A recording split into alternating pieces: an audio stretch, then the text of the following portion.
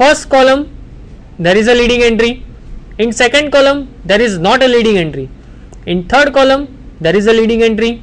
In fourth column there is also leading entry. In fifth column there is not leading entry. So in second column and fifth column there is not any leading entry. Okay? Sixth column is actually the coefficient of which is uh, right side. So that is all the r 0 we are not considering that one. But we are first in first five columns in second column and fifth column there is not a leading entry. So definitely we have to suppose we have to take two variables okay? That is clear. So x1 the equation is x1 plus x2 minus 2 x3 minus x5 is equal to 0 x3 plus x4 plus x5 is equal to 0 and x4 minus 3 x4 is equal to 0 that means x4 is equal to 0 so definitely we have to take x5 and x3 suppose x3 x5 is equal to x5 is equal to k and x2 is equal to t. Because there is not a leading entry in second column so we have to take x2 we suppose x2 with some variable and there is not a leading entry in fifth column so we have to suppose x5 that is equal to k. Okay using that x2 and x5 we can solve the equation.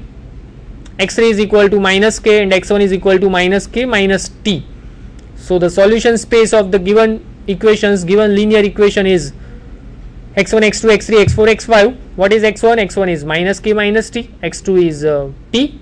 x3 is minus k. x4 is 0 and x5 is k where all kt belongs to r. Okay?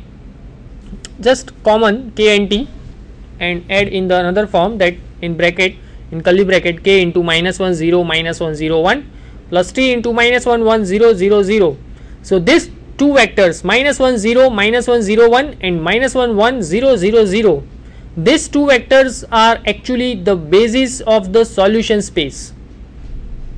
These two vectors are actually the basis of the solution space. So hence the solution space is two dimensional we will get two vectors for the basis of the solution space. So definitely the dimension of solution space is 2 okay dimension of solution space is 2 so here is the complete the example. Let's take one more example that you can understand very easily.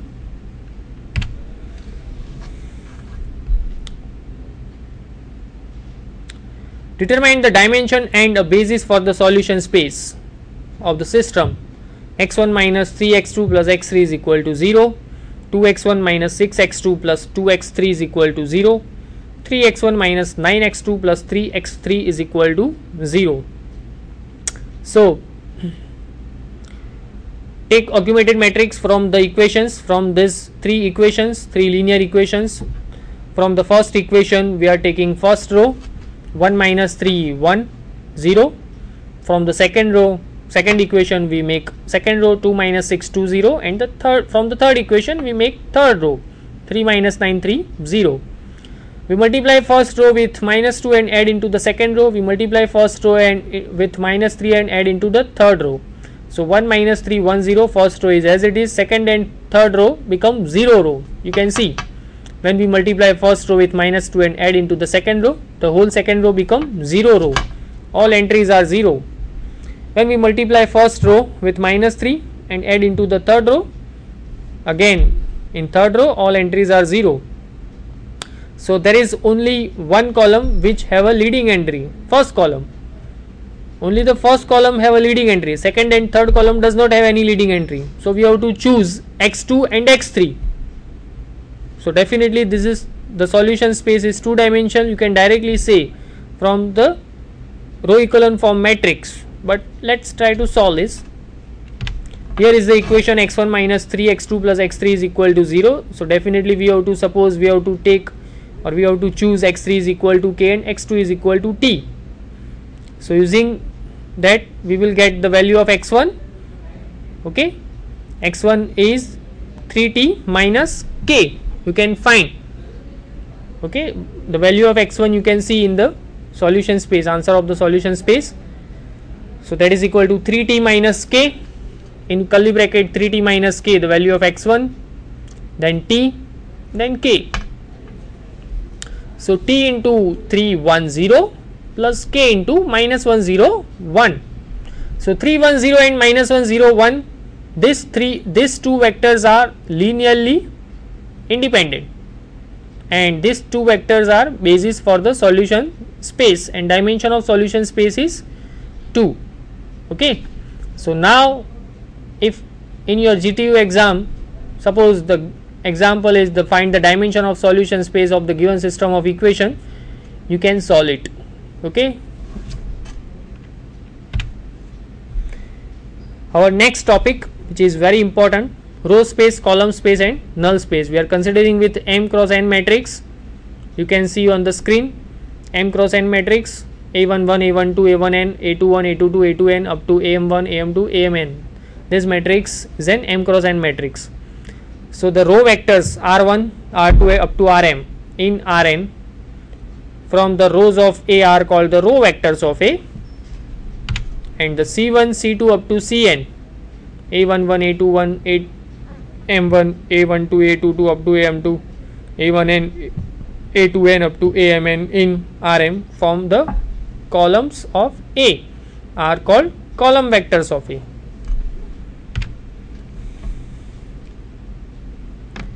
here is the definitions three definitions three very important definitions.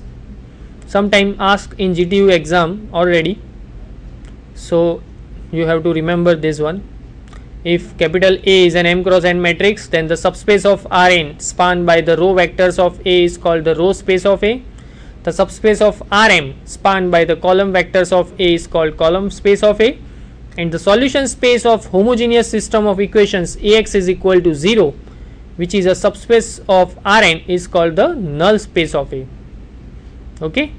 And to find the basis of row space to find the basis for the column space we have to take one important theorem which we will use to solve some example. So, just try to understand the statement of that theorem.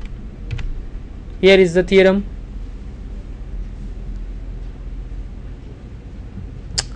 Okay.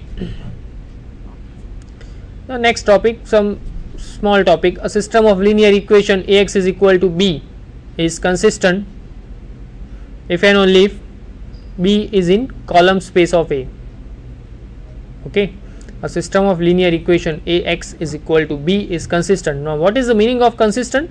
We can find the solution of the linear equations. Otherwise it is inconsistent. That you should know that the linear system of equation ax is equal to b is consistent means the solution of that equations you can find it if you cannot find the solution the system of equation is inconsistent so what is the theorem says that a system of linear equation Ax is equal to B is consistent if and only if B is in the column space of A.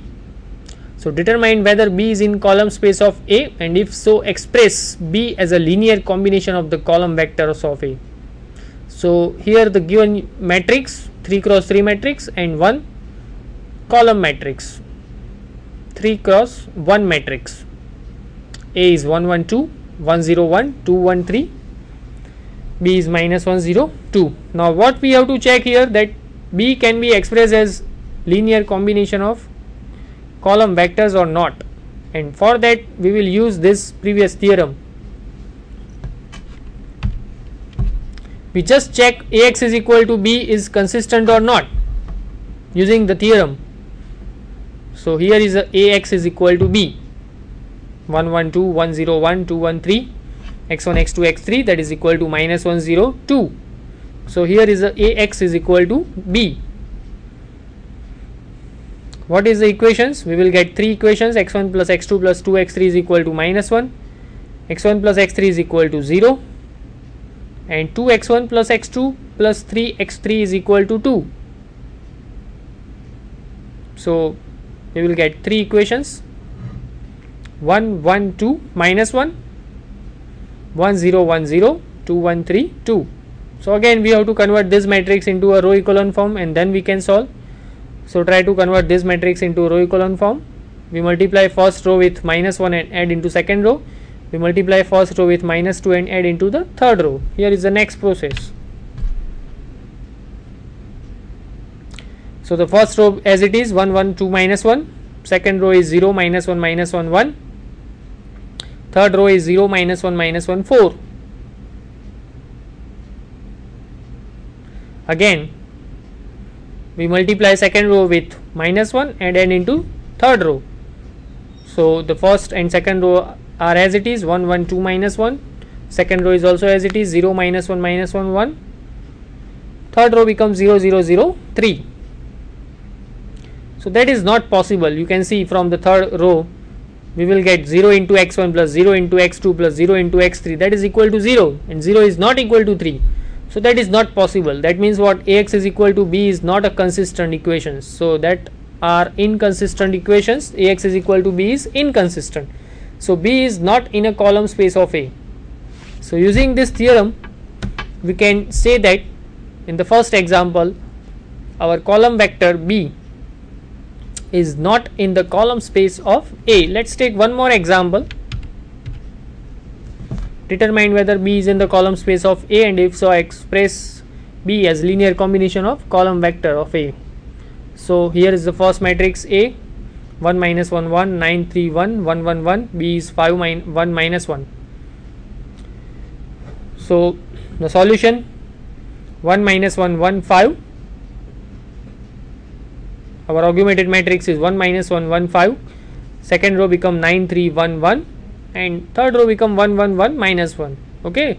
We are taking directly the augmented matrix. Now you can easily understand from the first example. We already seen in x is equal to b now all that. Okay? So here is the augmented matrix. 1 minus 1 1 5 9 3 1 1 and 1 1 1 minus 1 now try to convert this matrix into a row echelon form we multiply first row with minus 9 and add into second row. We multiply first row with minus 1 added into third row.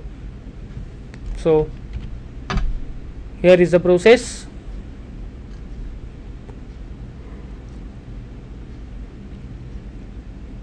First row is as it is 1 minus 1 1 5 second row becomes 0 12 minus 8 minus 44 third row becomes 0 2 0 minus 6 okay?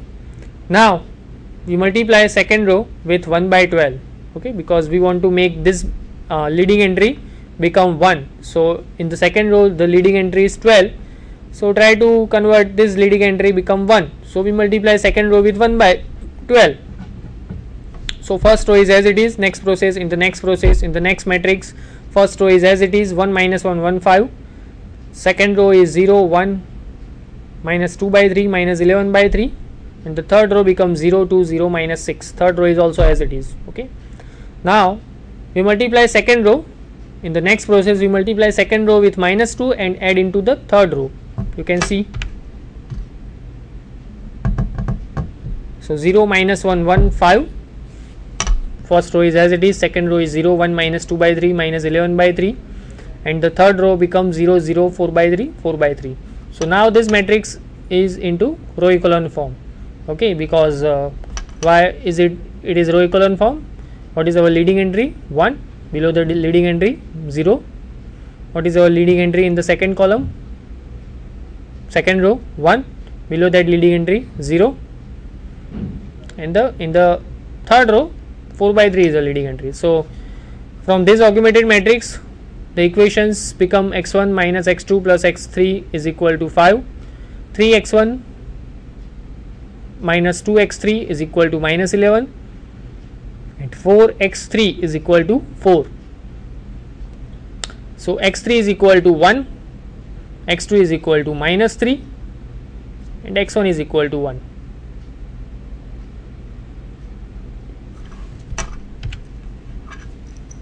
So 1 into the first column vector 191 minus 3 into minus 131 plus 1 into 111 is equal to 5 1 minus 1 hence B is in the column space of A.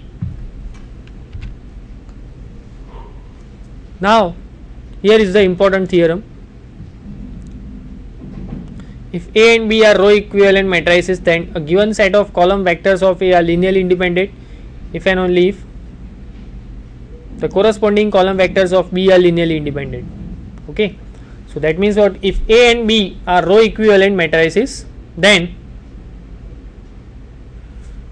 if the given set of column vectors of A in the one matrix in column vectors are linearly independent then the other matrix in other matrices the column vectors are also linearly independent. A given next statement is a given set of column vectors of A forms a basis for the column space of A if and only if the corresponding column vectors of B form a basis for the column space of B. Again I repeat the statement a given set of column vectors of A forms a basis for the column space of A if and only if the corresponding column vectors of B form a basis for the column space of B. Okay.